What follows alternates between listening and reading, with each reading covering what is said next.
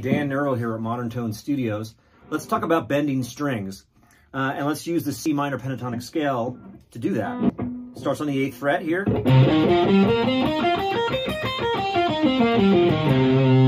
Let's do the bending on the top three strings where most bends occur, those top three strings.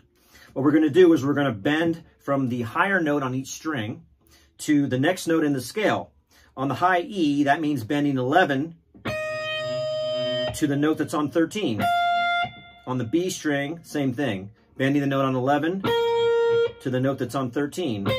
And on the G string, bending the note that's on 10 to the note that's on 12. First thing you want to do is see if you can uh, just play the notes first and then try to bend that first note to the second note you played.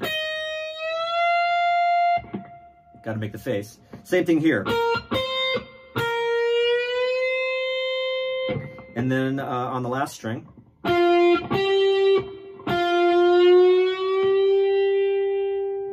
So try to uh, just play the play the note first and then try to bend to that exact note.